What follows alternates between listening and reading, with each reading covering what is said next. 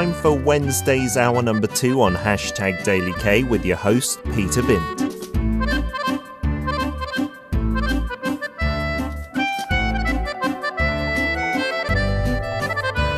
Korean dramas, movies, and even lyrics. Why is the world paying attention to Korean stories? From classics to modern masterpieces, time to dig deep into the charms of Korean literature. On Check It Out with Paul.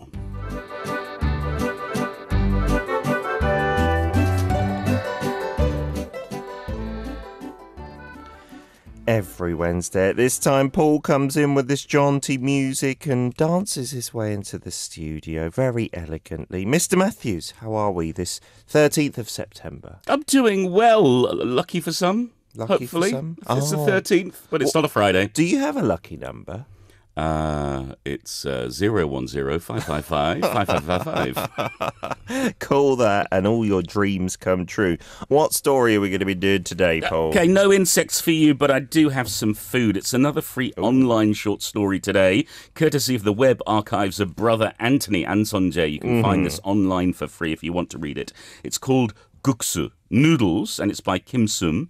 And it's a story, I think, for families and also for foodies, especially for those who maybe have had a little bit of a tense relationship, especially sort of between child and step parent. Oh, okie dokie. So there's more to it than just the food there. Interesting.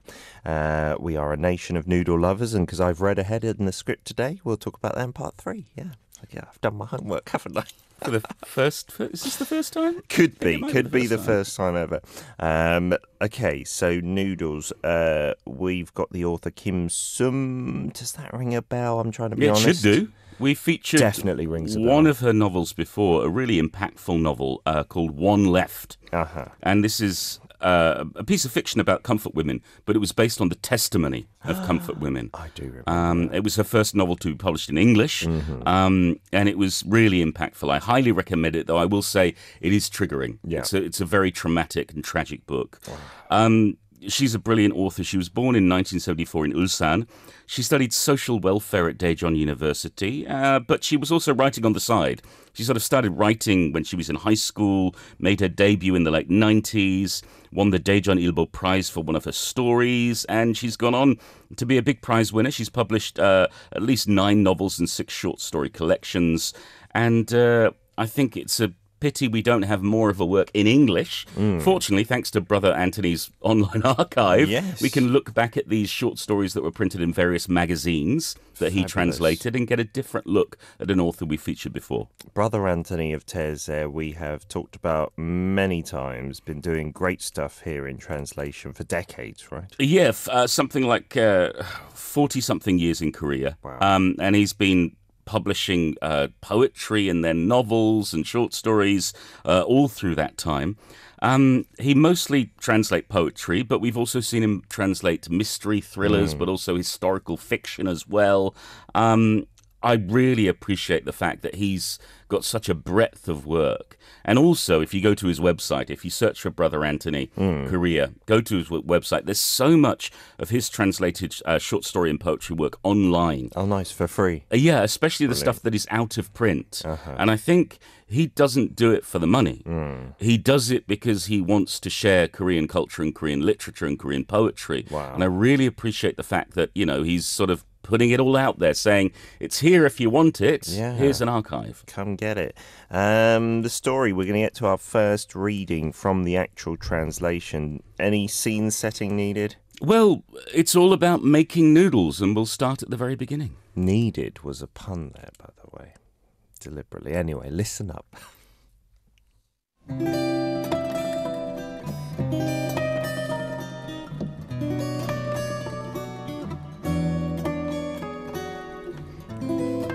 Right.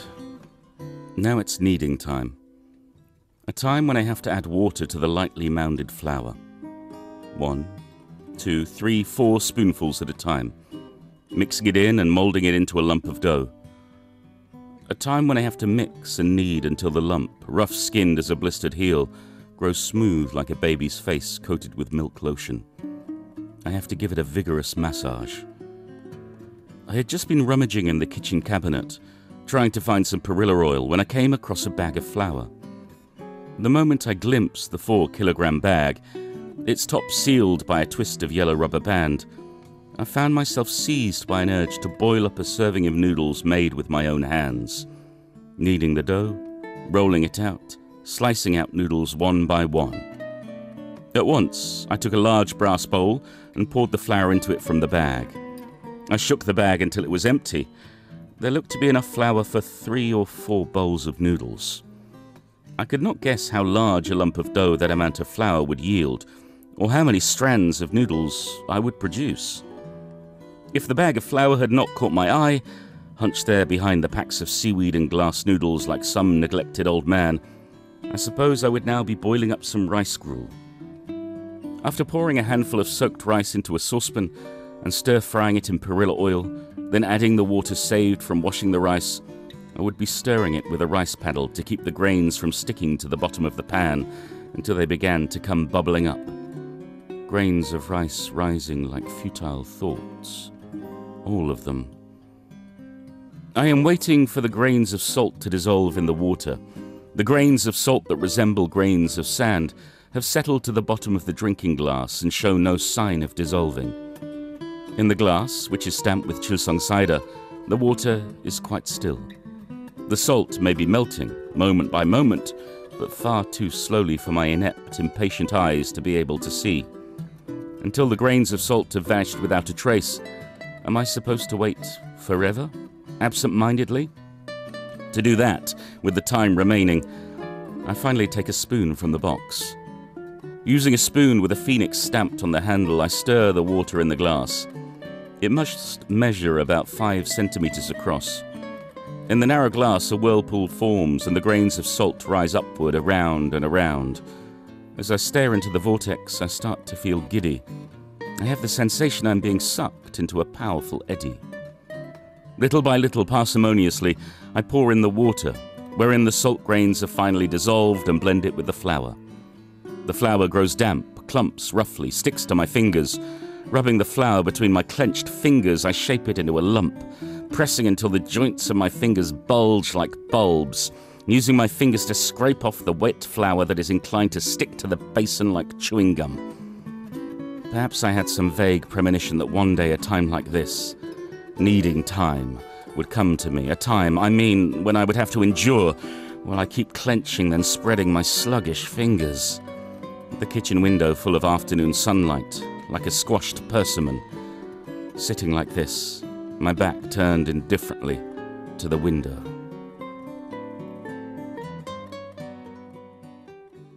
Uh, very detailed description of all the cooking and getting ready to make the noodles.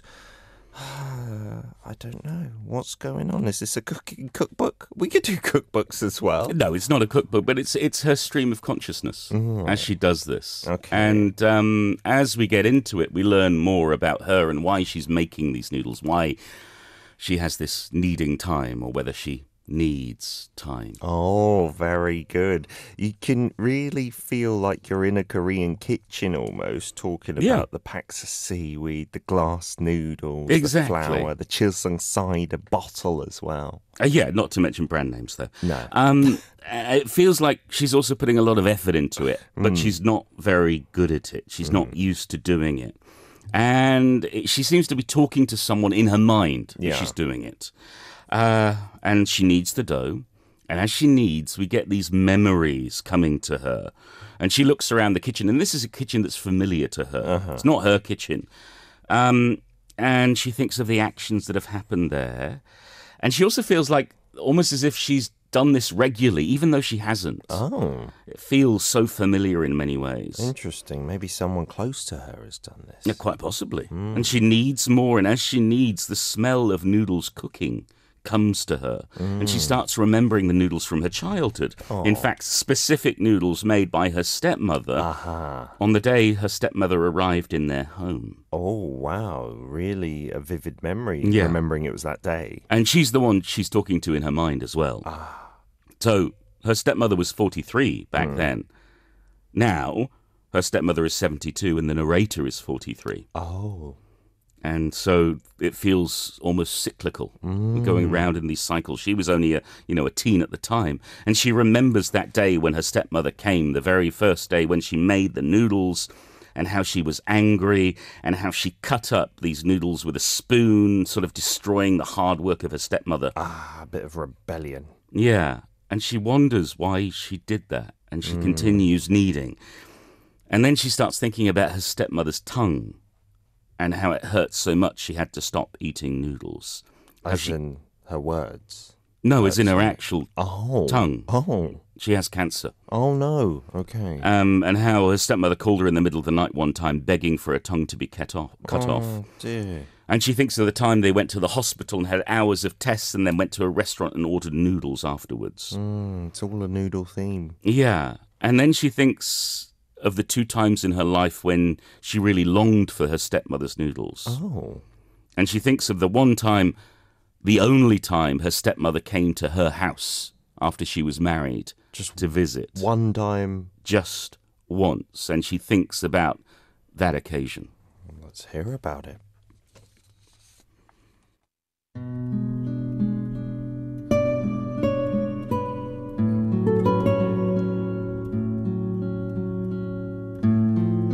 You came to visit my house only once, right?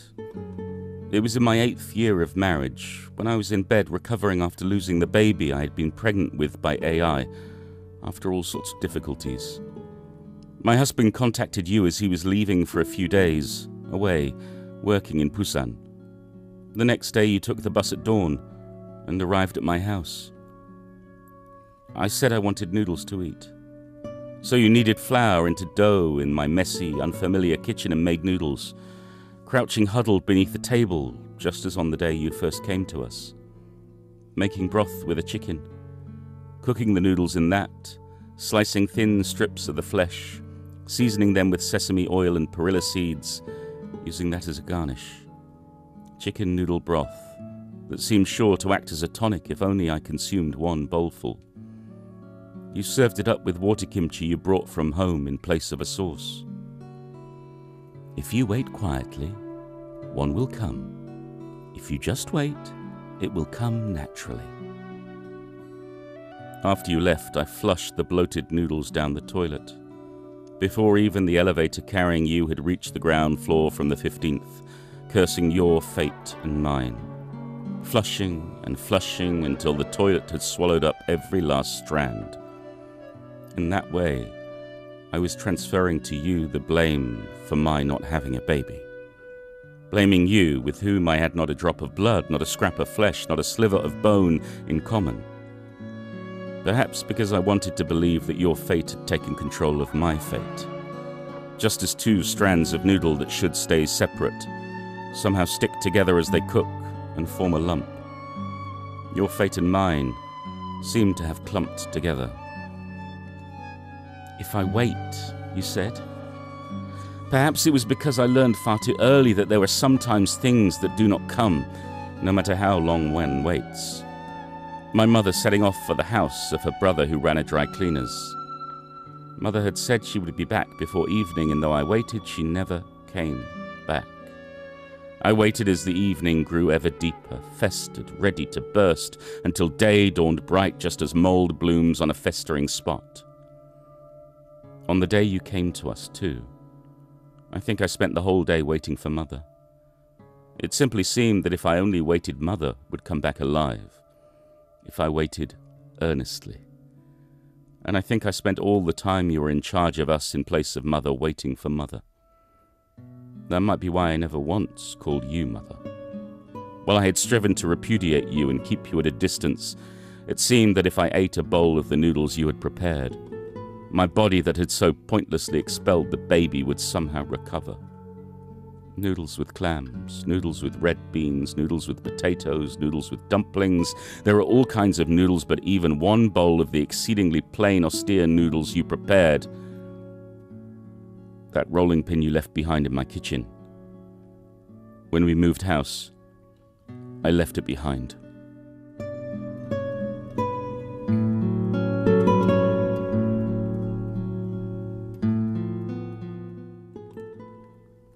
So all these memories, painful ones, intertwined with Yeah. the noodles. Seems like they have a complicated relationship. Well, at least this way it seems from the stepdaughter's point of view. And leaving behind that and flushing down the noodles. She's, it seems like she's trying to push her away, but doesn't Yeah. really want to at the same time. It's a bit complicated. It is, and and I think now she's looking back on how she behaved, on her behaviour, mm. and I think she knows that what she did was wrong, and she's actually sort of disappointed with herself, or upset, or maybe even appalled at herself Okay. in the way she behaved. But she's trying to process all these complicated emotions, mm. and this is, you know, this is a years on, um, and it's clear that. You know, a stepmother can never replace a mother, especially a mother who suddenly hmm. disappears and dies. Yeah. And so she does care for her. And she talks about how she's worried about having to tell her stepmother that the doctor says she's going to need surgery on the tongue. Oh dear. So that's why she's here. Okay. But to sort of delay that, she's making the noodles. Mm. And she's worried about whether the noodles are going to be okay, whether she can actually make them properly. Mm. And she doesn't have enough time to rest them properly before she has to head back to Seoul. Because normally you'd rest them for hours and hours. Okay.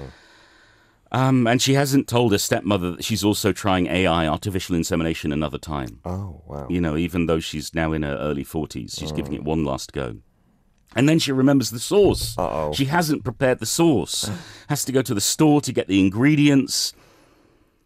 And then she remembers when she went to get her family register certificate mm. and noticing her stepmother not even being on that. Ah. And that her mother is already buried next to her father. Hmm. And they've never once considered, never once asked her stepmother where she wants to be buried. Uh, seeing things from maybe her point of view. Yeah. And she thinks of how this woman, her stepmother, no blood relation, brought up four children, none of whom were her own. Hmm. And how they discovered on her 70th birthday, they took her out for shabu shabu. Uh-huh. She'd never had shabu shabu before. Oh. And then they discovered there were so many different food she'd never tried. Oh. And then she rolls out the dough and she's cutting the noodles and she feels like she just wants to crush them and crumple them all up together. But no, she quickly puts them in the water, gets them cooking, and they dance in the water. and it feels like it has taken so long to make this dinner that it has taken an age. Oh. And that will take us to the very end of the story as the oh. noodles are cooking. Does feel like a lot is going on in this cooking of one meal.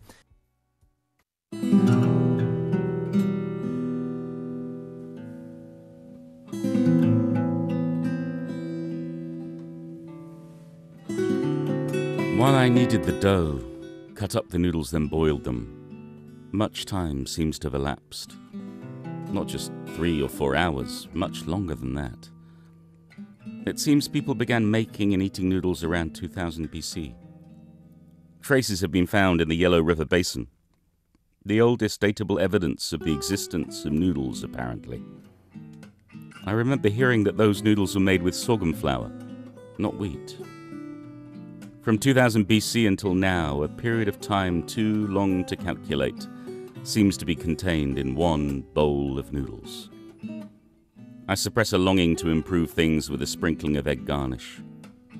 From the beginning, I wanted to offer you a bowl of noodles no different from those you first served us. Noodles no simpler and no more ornate than your noodles. Clasping the table, with nothing but the boiled noodles and the sauce on it, I cross the kitchen threshold. As the edge of the table touches the sliding door, the opaque glass shakes. You must have woken up at some point. You were sitting forlornly to one side of the room. Perhaps you have been awake all the time. The sound of the grains of salt melting in the water, the sound of rubbing and kneading as I poured the salty water into the flour, the sound of the dough being pounded, the sound of the cutting board shaking and banging while I was rolling out the dough. The sound of the dough folded like a diaper being sliced with the kitchen knife, the sound of the noodles boiling, the sound of the table's four legs being unfolded. Perhaps you heard all those sounds without saying a word. Why? You've cooked noodles. Smoothing your disheveled hair, you approach the table. Holding the spoon, you scoop up the sauce and transfer it to the bowl of noodles. You stir it around in order to mix it evenly. Changing to chopsticks, you stir again a few times, then lift up some noodles. Five or six strands dangle from the chopsticks as you raise them. Before you can open your mouth, the noodles you have labored to pick up slip off. Even the last, barely remaining strand finally falls from your chopsticks.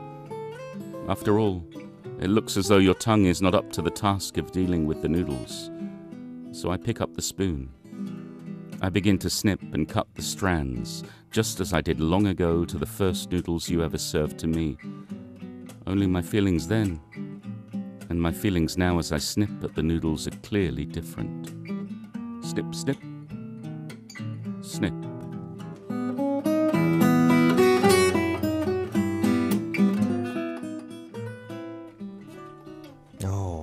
Some very complex feelings here, different feelings in the same situation where the roles not been reversed, but Well, yes, they have been reversed. Oh, she's like, oh, I see. Like she's almost going to a childlike state, I suppose, Yeah. having to be cared for. That's interesting, isn't it? Uh, and this is the end. Yeah, this is it. We don't we don't know what will happen to them, but it does feel like a resolution. It does feel like a, a very fitting ending. Okay. The snip snip of the noodles that uh, echo the way that she cut up those noodles back when her stepmother first arrived But all with a those very years ago. different feeling behind them now. Yeah. Like having to take care of her stepmother. And like you said, maybe realizing that she was a bit harsh in her behaviour. Oh, more than a bit harsh. Very harsh. years, yeah. Just being a petulant child. Um, and what's what I love about this story is that there's a conversation, but no conversation. It's Hmm. a conversation with oneself. There's no dialogue that we get from the other side. No, there's really. just one line here or one line there, and that's it. And it's this lifetime of anger and worry and guilt and shame, not just on the narrator's part, Hmm. but I think on her stepmother's part Ah. as well. And they're unconnected by blood, but they're connected by family, and they're both childless. Oh, but maybe that's she's. Uh-huh. actually going to have a child. Maybe she's going to break this cycle. Okay. Um, I think it's brilliant. I think it's a really great short story. It takes it takes its time. Like that first reading, you, you said, is it a cook? Is it a cooking book?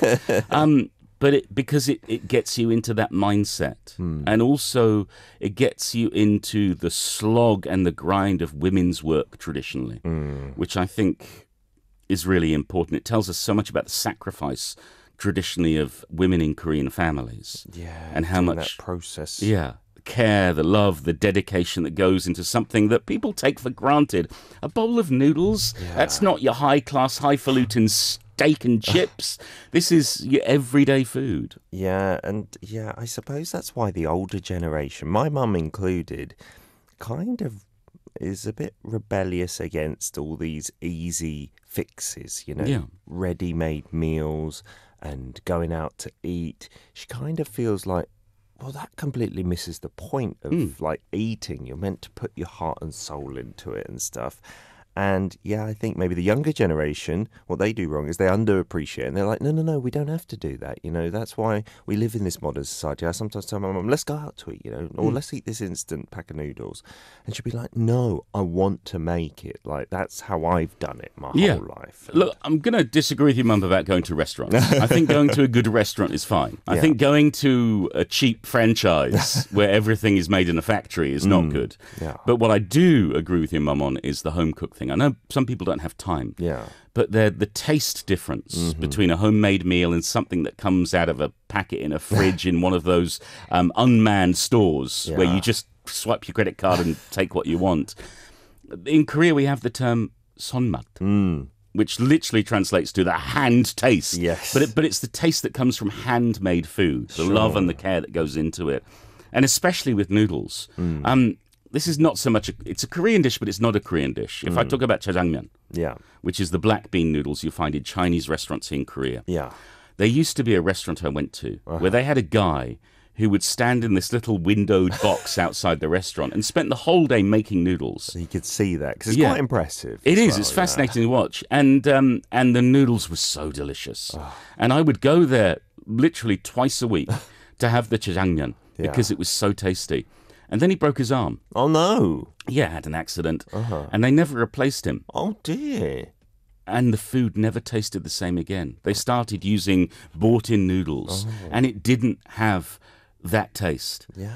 Um, so noodles mean a lot to me as well. I'm very picky about Yeah. my noodles. Yeah, in Korea, noodles, you know, a bowl of rice, we've often said on the show, you know, that's the staple. If you don't have a bowl of rice, a lot of Koreans will say you haven't eaten a meal yet. Yeah. But noodles hold this kind of place in Korean psyche. I don't know what it's akin to in like British cuisine, but like as a child, you're often looking forward to noodles. Those Yeah. were a bit of a treat, I suppose, a bit less common. But they're also very common at the same time. There are so many different varieties. Sure, but they're also cheap. Mm. When rice was scarce Hmm. and you only had flour and water, it was much easier to make noodles. Yeah. Mm-hmm. takes more effort. I think the equivalent uh, in the UK would be toad in the hole. Oh, okay. Because toad in the hole, for those who don't know, it's um, it's a batter Mm-hmm. that's uh, cooked with oil in the oven and rises and puffs up Yeah. and becomes chewy and crispy. And you put a couple of sausages in there Yes. uh, and maybe some onion gravy, and that's it. And that is really cheap to make because it's flour, it's water, it's salt, it's maybe an egg or a little bit of milk and a couple of sausages, and that's it. And then it becomes this big dish for the whole family and to it fills share. you up. That's the thing. like- And noodles, I think, noodles and sujebi, Mm. which are these hand-pulled um, bits of noodles, as it Yeah. were, um, I think play a really big role in traditional family and traditional food, and we shouldn't forget them. Yeah, it's kind of sad. Like, I don't think there are too many young couples where either the male or the female will be making noodles at home. Yeah, I don't. I don't necessarily think you have to make the noodles at home. You can buy good noodles, but what I will say, if you come to Korea and you think the only noodles you should be eating are ramyun, you are very much mistaken. I will say, do eat the ramen as well. I am a fan. Uh, there, no, there's nothing wrong with ramyun, but one, Yeah. it's unhealthy. Sure, Two, it's not good quality. sure. They're not real They're- noodles. No, they're like cheap. this. They're cheap factory made, dried out fried noodles. Whereas if you go to a proper noodle restaurant, and there are some great ones in Seoul and all around the country, um, you know, whether you have your kalguksu, your knife cut noodles in a bowl of soup, whether you Mm. have your janchiguksu, the very thin noodles that are served at wedding parties and so on, Oh, they're good. or whether you have your cold buckwheat noodles, you know, your your memilguksu, Yeah, naengmyeon as well. That's good. or bibimnaengmyeon. Yes. Whether you have your noodles in a cold, icy broth or whether you have them cold with a spicy sauce, noodles are a big part of Korean life. And I know we say bap 먹었어요, Yeah. but sometimes I want to say 면 먹었어요. Myeon kuksu. Yeah, there are two words for that as well, which we didn't even scratch the surface of today, Paul. Thank you for that story. Real kind of thinker that grows on you. What's your one line review? A powerful meditation on family, life, forgiveness, and care, all centered around a simple bowl of noodles. I will forgive you if you buy me a bowl of noodles, Paul. Uh, thank you so much for your beautiful reading. Thanks to everyone. Thanks to the Literature Translation Institute of Korea for their help with copyright provision always. Thanks to Kim Soom for her story and to An Seon-jae for his excellent translation. Next week, I've got another book. It's Three Days of Autumn by Soo Jung In, translated by Jamie Chang. Three Days of Autumn. Uh, and I'll see you then. You can listen to Check It Out with Paul Matthews on Arirang Radio's hashtag Daily K every Wednesday from 10am KST.